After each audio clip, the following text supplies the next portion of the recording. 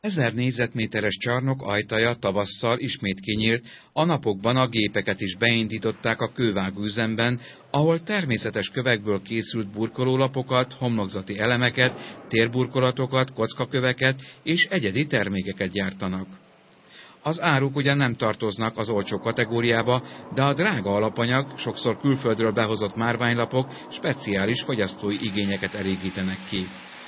A gépeknek az üzemeltetése energiaigénye tetemes, a munka pedig speciális szaktudást igényel. Ahhoz, hogy folyamatos legyen a termelés az üzemben, megrendelésekre lenne szükség. A gazdasági válság azonban az átlagosnál súlyosabban érintette az építőipart és az ágazat beszállítóit. Az elmúlt őszében gyakorlatilag azzal szembesültünk, hogy az építőiparnak a termelési visszaesése nagyon nagy kihatással volt ránk.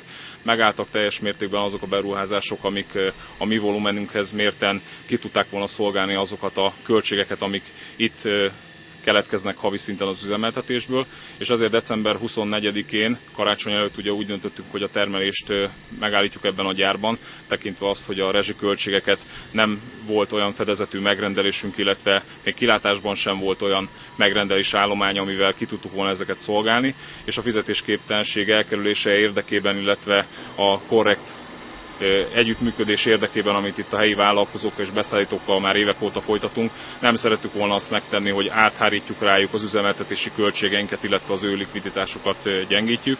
Ezért kénytelen kelletlen meghoztuk azt a döntést, hogy igenis bezárjuk az üzemet, és ebbe az időszakban nem fogunk termelést folytatni. Illetve hát számítottunk arra, hogy a meglévő előző években megtermelt közel 30-40 millió forint közötti értékű raktárkészletnek az értékesítéséből talán folyik be annyi pénz, amiből talpra tudunk állni és el tudjuk indítani az üzemeltetést. Ez meg is történt a, e hónap elején, el is kezdődött itt a termelés. Most jelen pillanatban a raktárkészleti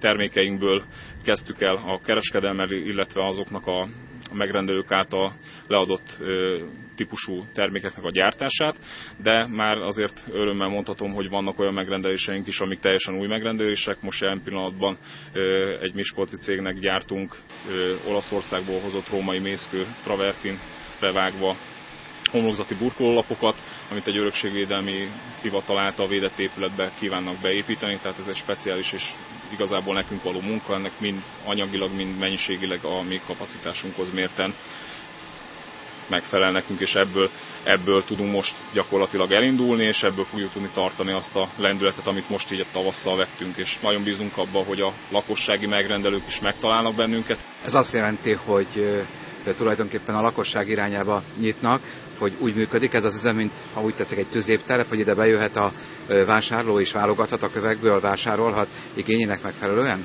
Egészen pontosan így működik, így van. Ez kicsiben és nagyban is ugyanígy működik, hiszen ez az üzem arra lett tervezve, kialakítva, illetve arra lett megálmodva és megvalósítva, hogy az építőiparban keletkező igényeket kiszolgálja.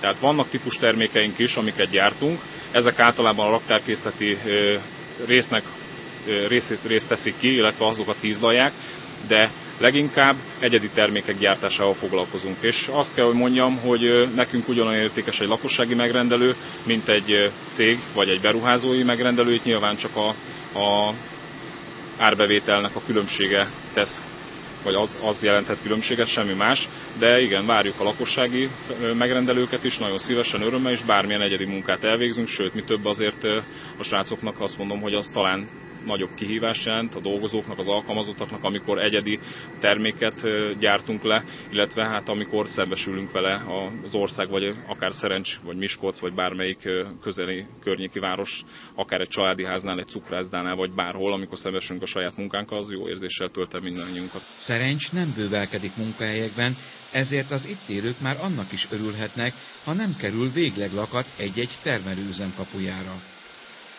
Bár a kővágőüzemben is hónapokig szünetelt a termelés, de a tél valóban nem az építkezés időszaka. Most visszaköltözött az élet a gyárba, és ha nem is tudnak a tavaszi hónapokban a korábbi 25-30 főnek munkát adni, a tulajdonosok bíznak abban, hogy erősödhet a gazdaság, és talán a kintlévőségeikhez is hozzájutnak. Mert ez is több 10 millió forintot jelentene a cég büdzséjébe.